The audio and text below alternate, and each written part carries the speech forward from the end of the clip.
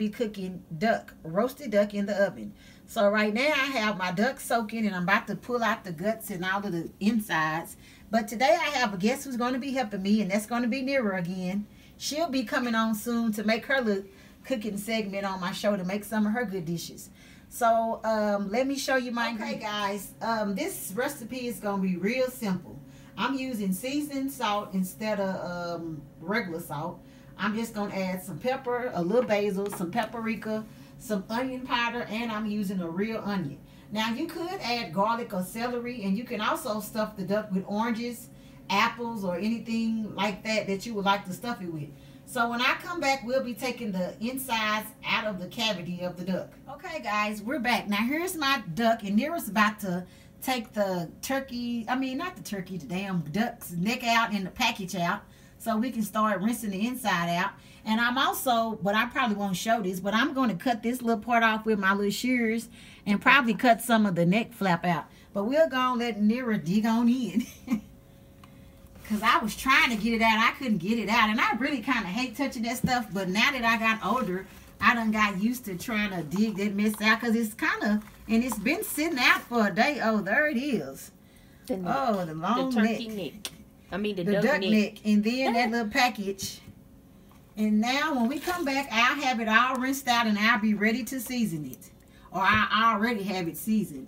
But how she have it open like that, I'm going to stick seasoning all off in there. I'm going to stick some of my onions in there. And if you had celeries, apples, or oranges, that'd be good. And I'm also going to poke some holes in here to try to let some of the fat come out. So when I come back, I have it ready to okay, season. Guys, I'm soaking my duck a little bit. But I wanted to tell y'all that the Peking duck is also called the Long Island duck. And it's the most popular duck to eat.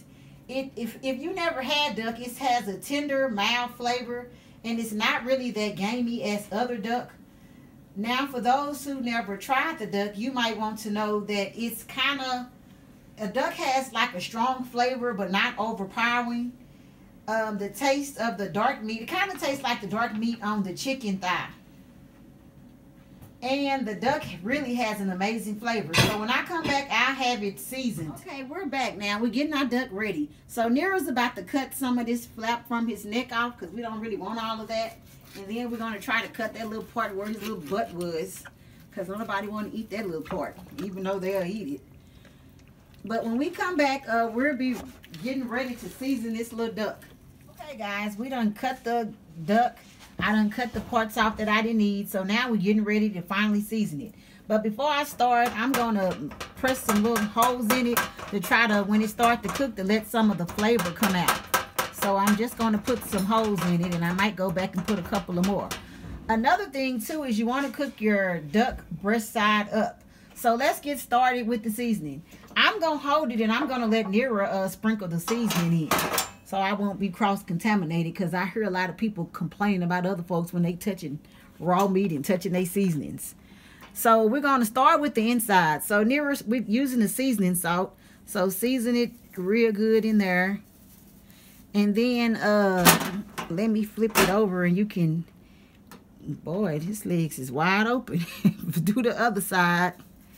And then put the onion powder, the black pepper, and you want to get the inside real good.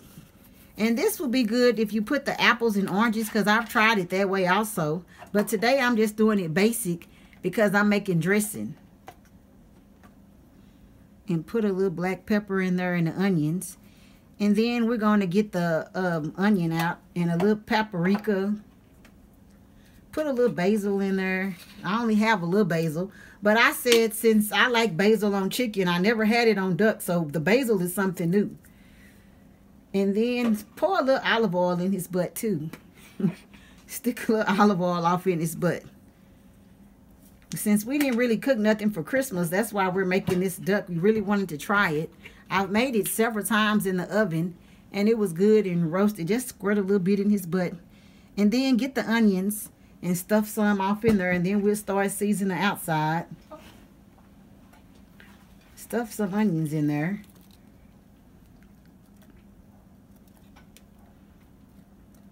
And I know for a lot of people who hadn't had duck before, it really kind of tastes like the dark meat like they say on chicken. It's real good and flavorful and duck is a little better than chicken. Uh, just a little more onion. A little, it's a little more flavorful than chicken, but it kind of tastes like dark meat of chicken if you had that. But it has to be seasoned right. Now here you can season the outside with the seasoning salt.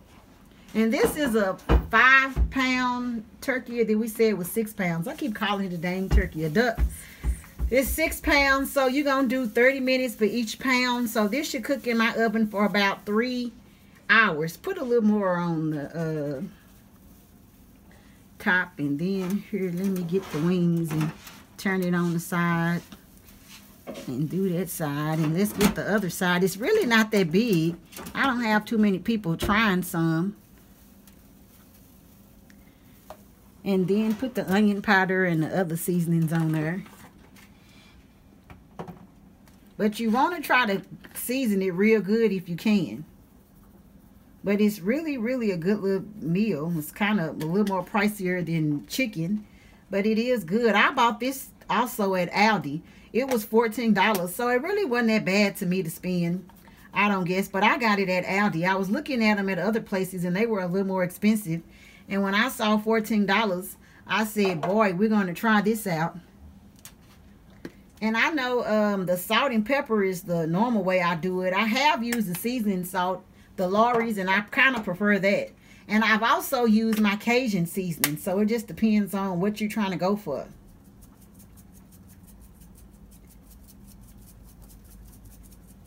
And then another thing I forgot to mention is you want to keep it on a rack. oh, excuse me, this seasoning. Uh, you want to try to keep it on a rack because when the duck starts to um, roast, I mean cook, all the fat, oh, I, even though some of my onions came out, but I put them back in there. Some of the um, fat, well, most of the fat will start to drain, and you don't want your good duck sitting in all that fat. So you like to cook it on a rack if you can. Now, one day we're going to make one in a crock pot because I believe my crock pot can make this more tender. But one thing you want to make sure if you have a rack or something or some kind of way to keep it from sitting out in that grease, to keep it on a rack. And once again, it's only 30 minutes per pound. They have this little thermometer in there too. So when the breast is at 180, that's when it's supposedly ready. But I'm going to cook mine for right at the three hours like they're saying. Or maybe three hours and 30 minutes. Because nobody wants nothing undercooked.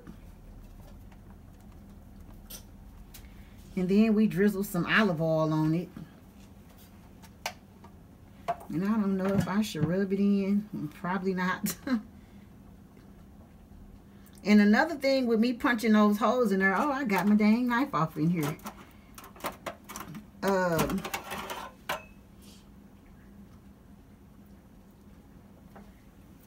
when it flavor because I want as much of this seasoning and flavor to get off in here and it should be nice and now you can put the other onions on top or in there just put the other onions on there so when we come back it'll be three hours later and we'll show you the ending result of our roasted duck okay, guys it's been about three hours and 30 minutes um i left it in there a little for about 15 20 minutes so the outside could get a little more brown so this is my ending result and I know a lot of people like for you to cut into it.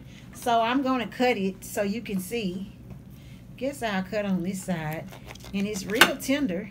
I'm going to cut a piece off. But it's super tender and it smells good. Nira, did you want to try it? Sure. See, you can get the fork and tell everybody in YouTube world what does it taste like. And you don't have to lie. But it smells real good. Let me try a little piece. Because it's real hot and we just got it out. It tastes good. Well, thanks for watching.